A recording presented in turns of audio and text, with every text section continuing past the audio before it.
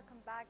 And you're still watching the Breakfast Show on Nile International. And right now we have a very interesting topic, which is obesity, which is a medical condition in which excess body fat has accumulated to the extent it may have an adverse effect on health, leading to reduced life expectancy or increased health problems.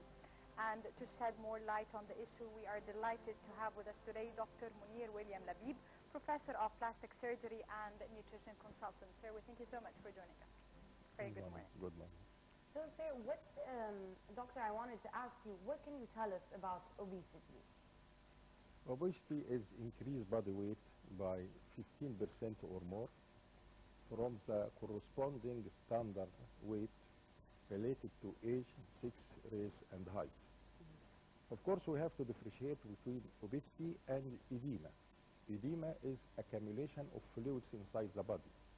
So edema and also edema we find increased body weight. But mm-hmm. here, due to accumulation of fluids inside the body, maybe due to hepatic causes related to liver, or maybe due to cardiac causes related to the heart, or even renal causes related to the Very kidney. different reasons.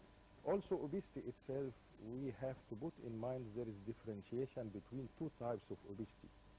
Obesity due to increased number of fat cells, which is named hyperplastic obesity, and it is present usually below puberty. And second type of obesity, what is known as hypertrophic obesity, it is increase in the body weight due accumulation of fat due to increase in size of fat cells and not increasing of number of fat cells. And it is present after puberty. So here it is, uh, it is a, a very wide uh, spectrum to speak about, but here is lies obesity. But is it related to a certain age? Or No, it is not related. And this leads us to speak about causes of obesity.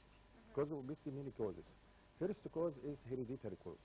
Hereditary cause, it is due to presence of gene uh, specific on chromosome number 17. This is proved later on.